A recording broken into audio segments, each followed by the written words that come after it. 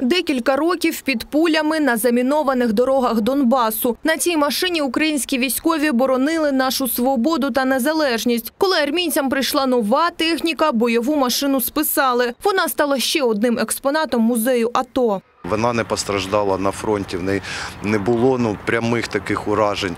Вона перевезла ну, не, не один ну, скажімо, екіпаж, да, який на ній воював, там не одна ротація хлопців, і вона не отримала значних пошкоджень на фронті, але, на жаль, вона зазнала такої величезної руйнації у нас тут, в мирному, казалось би, місті. Музейники розповідають, вандали зірвали плівку, що була замість заднього скла, проникли всередину, а потім намагалися ще й підпалити бойову машину. Самі бачите, да, позривані всі отакі от резинові прокладки, ну і повністю от торпеда, да, там де водійське сидіння, вона теж вирвана з м'ясом. Співробітники музею звернулися до поліції. Дільничий склав акт про правопорушення. А ще музейники проситимуть патрульних змінити маршрут, щоб поліціянти частіше з'являлися біля вуличної експозиції. Всі машини, які ви бачите в нашій експозиції, е, напади були на всі. Тобто люди, я навіть не розумію їх цілей, тому що ну насправді взяти щось,